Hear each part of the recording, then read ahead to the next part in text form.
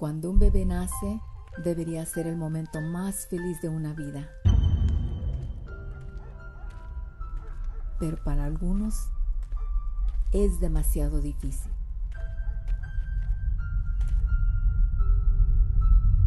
Piensa antes de hacer lo inconcebible. Hay opciones. No abandones a tu bebé.